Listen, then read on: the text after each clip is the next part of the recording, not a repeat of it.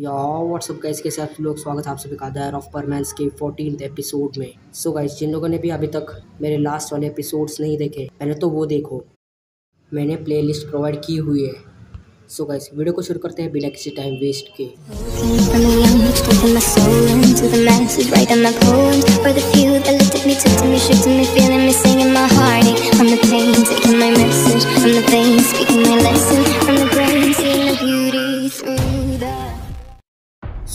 last वाले episode में हम सबने देखा कि परमैन एक अजीब सी जगह पर पहुँच जाता है, जहाँ पर वो देखता है कि उसके चारों ओर पानी है और थोड़ी देर बाद उसको एक खतरनाक वाली आवाज़ आती है और परमैन उसका पीछा करने लगता है। लेकिन जैसे ही परमैन उस जगह पर पहुँचता है, वो देखता है कि उसके सामने एक जेल टाइप सा बना हुआ है और उसके अंदर से ही वो आवाज़ आ रही थी। थोड़ी देर बाद उस जेल के अंदर से एक डीमन हाथ बाहर निकलता है और परमैन को पकड़ने की कोशिश करता है। लेकिन परमैन किसी तरह से उस चीज़ से बच जाता है। और उसके बाद परमैन और उस डीमन के बीच में एक कॉन्वर्जेसन होता है, थोड़ी बातें होती हैं। और उसके बाद आगे तो हम लोग देखते हैं कि बर्डमैन ज़मीन के ऊपर लेटा हुआ था और होश में आ गया था। और बर्डमैन और सारे परमैन उसके पास थे। तो हम लोग देखते हैं कि बर्डमैन और सारे परमैन परमैन को वापस हेडक्वार्टर्स लेके जाते हैं। तो हम लोग देखते हैं कि बर्डमैन और सारे परमैन हेडक्वार्टर्स पहुँच गए थे परमैन को लेकर। तो इसके बाद बर्डमैन कहते हैं कि पहले तो परमैन को ट्रीटमेंट सेंटर लेके जाओ। ऊपर से जो इतने ज़ोर से गिरा था, बहुत ज़्यादा चोट आई होगी। तो हम लोग देखते हैं कि सारे परमैन्स परमैन को ट्रीटमेंट सेंटर लेके जाते हैं। तो इसके बाद परमैन का पहले तो ट्रीटमेंट होता है और उसमें ये निकल कर आता है कि उसका एक हाथ फ्रैक्चर था, जिस हाथ पर वो डीमन सील बना हुआ था। तो इसके बाद परमैन का ट्रीटमेंट कंप्लीट हो जाता है और हम लोग देखते हैं कि परमैन बेड के ऊपर लेटा हुआ था। तो तभी बर्डमैन ग्रैंड बर्डमैन से कहते हैं कि सो अभी सोया हुआ है। इसको किसी तरह से बेहोश करते हैं और हमें देखना पड़ेगा कि इसके अंदर कौन सी चीज़ है जो इसको हिप्नोटाइज कर रही है और कंट्रोल कर रही है। वरमैन के हाथ पर एक सिंबल बना हुआ है, जो बस मैंने ही देखा है और किसी ने नहीं। ये सिंबल कहाँ से है कुछ भी नहीं पता। ये बस हमें परमैन के दिमाग के अंदर झाँक के ही पता चलेगा। तो इसके बाद बर्डमैन कहते हैं कि अभी इसको सोने दो। वैसे भी इतना ज़्यादा टेंशन लेने की ज़रूरत नहीं है। चलो सर, तब तक हम रिलैक्स करते हैं, चाय भी पीते हैं। मुझे पता है, ये बच्चा उस पावर को कंट्रोल कर सकता है। मैंने खुद की आँखों से देखा, इसने अपने आप को कंट्रोल किया था। तो इसके बाद हम लोग देखते हैं कि बर्डमैन और ग्रैंड बर्डमैन रिलैक्स करने के लिए चली जाते हैं। और बाकी सारे परमैन्स भी रिलैक्स कर रहे थे। कुछ लोग खेल रहे थे, कुछ लोग ट्रेनिंग कर रहे थे। लेकिन उनमें से कोई एक जो कुछ भी नहीं कर रहा था। बस एक गहरी सोच में डूबा हुआ था इचिरो जो कि उस टाइम में बहुत ज़्यादा डरा हुआ था। जब उसने परमैन के स्वॉर्ड को छुआ था, वो एक अलग ही जगह पर पहुँच गया था। इचिरो सोच रहा था कि परमैन को किस चीज़ ने हिप्नोटाइज किया हो कौन कंट्रोल कर रहा है परमैन को?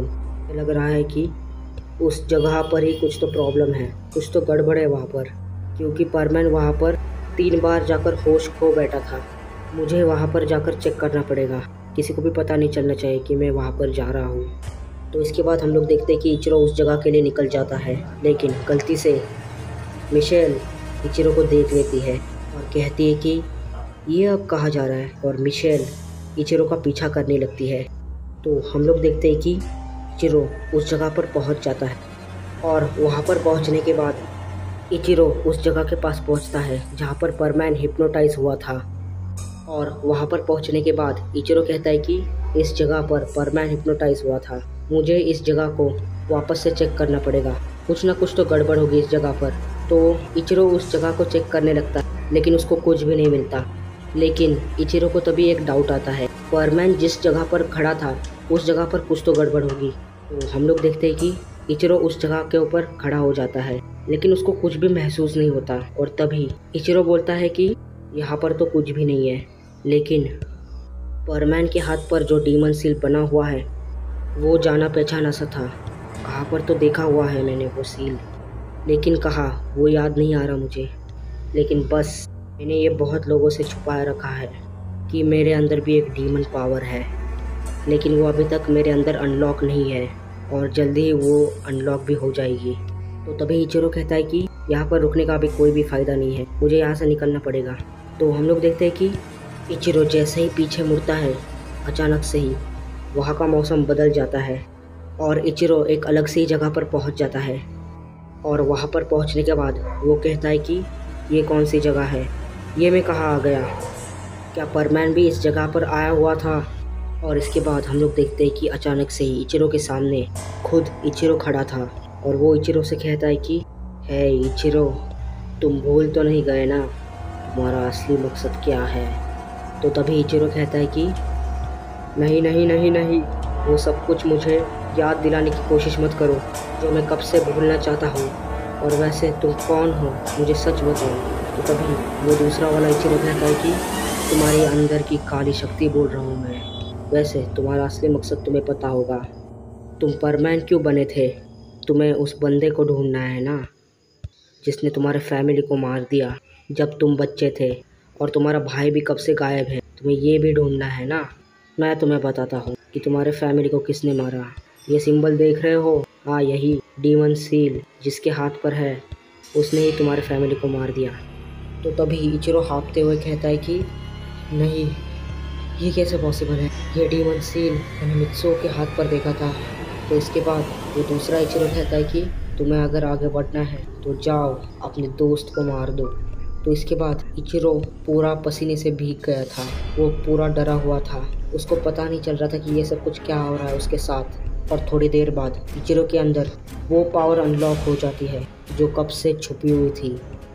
द डीमन ब्लैक आए इचिरो के आँखें पूरे के पूरे काले हो जाते हैं। बस बीच में का पार्ट सफ़ेद रहता है और उसकी आँखों से धुआँ भी निकल रहा था।